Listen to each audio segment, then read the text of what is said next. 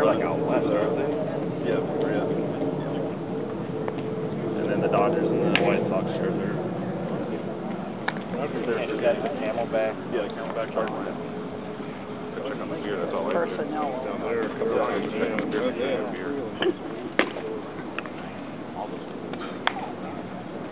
Yeah, yeah, the one that the Dodgers are in now looks almost just like Dodger Stadium, like the same stuff. Really? Yeah.